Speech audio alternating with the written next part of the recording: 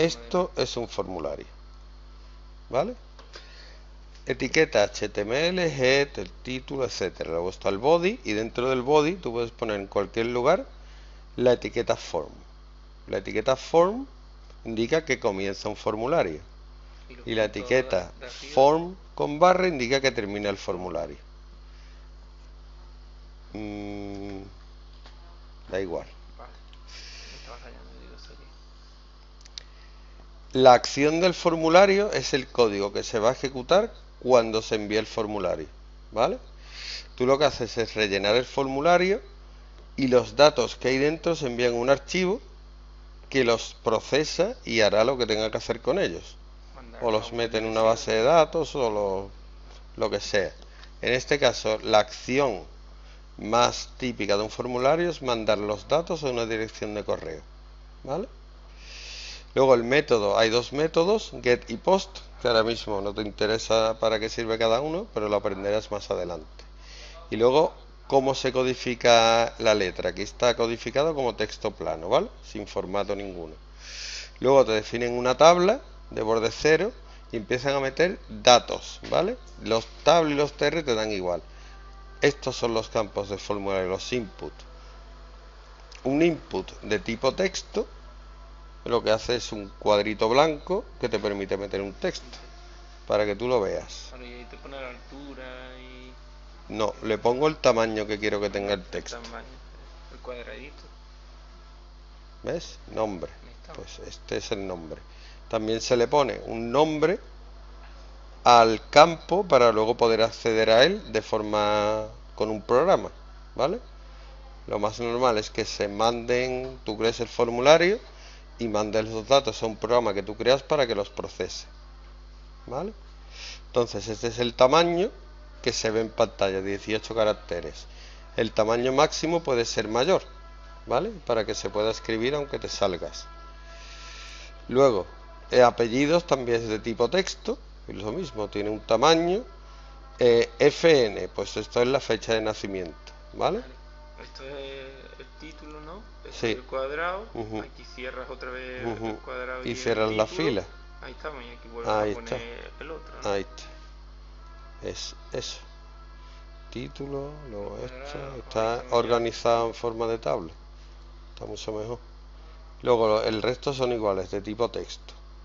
Esto es fecha de nacimiento calle y número le puedes poner el tamaño que quieras código postal texto eh, la ciudad el teléfono ahora este es pone aquí input type radio name sexo value h ¿Esto qué quiere decir? Pues que el sexo tiene dos valores que pueden ser hombre o mujer. ¿Vale? Hombre sería este y mujer sería este. Los que tienen de nombre radio son circulitos. ¿Vale? El nombre es el mismo para los dos. Eso quiere decir que se van a guardar en la misma variable del formulario, pero tienen distintos valores, H y M. Luego está el estado civil, que son un select, que son distintas opciones, ¿vale? Un select es una lista, como esta. Soltero, casado, divorciado, otro. Luego vienen los idiomas, que ya no son opciones, son checkbox. Se definen igual que las opciones, pero son de tipo checkbox. El nombre, aquí lo han liado porque pone mane en vez de name. Tendré que poner name y el valor es distinto, ¿vale? Y al final te ponen un campo de tipo text area que es un campo que no tiene una sola línea, tiene un montón de líneas, ¿vale? Todas las que quieras. Rows 2, dos filas y 44 columnas. Y luego están los botones que son de tipo submit, que es el botón de enviar datos, ¿vale? Ahora se va a abrir el programa de correo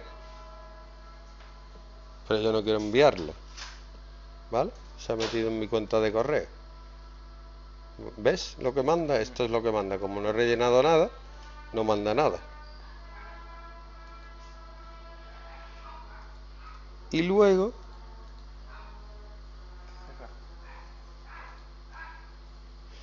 Y luego tenemos el botón reset que lo que hace es que al darle se borran todos los datos. tienes que poner input siempre, ¿no? Para, lo de los botones. Borrar los datos. Pimba. No, hay distintos. Por ejemplo, input type es para el submit, para el botón de enviar. Para el reset, pero otros no tienen input. El text area no tiene input. No, pero me refiero para lo de los botones. Para los botones sí. El select tampoco tiene input type. Text area no, son distintos. El que la eso estaba loco de la cabeza. Macho complicado entonces. ¿Qué va?